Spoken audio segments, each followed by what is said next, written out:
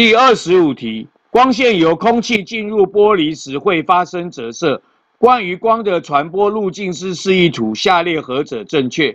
我们晓得折射定律告诉我们，入射线、法线跟折射线在同一平面，入射线跟折射线在法线两侧。选项 B，入射线跟折射线在法线同一侧是错的。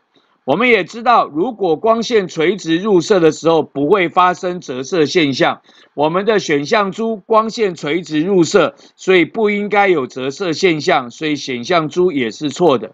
根据折射定律，啊，入射角、折射角比较大的代表光速比较快。现在是由空气射入玻璃中。光在空气的速度快，在玻璃的速度慢，所以入射角要比较大，折射角要比较小。那么这个 C 选项的图是对的。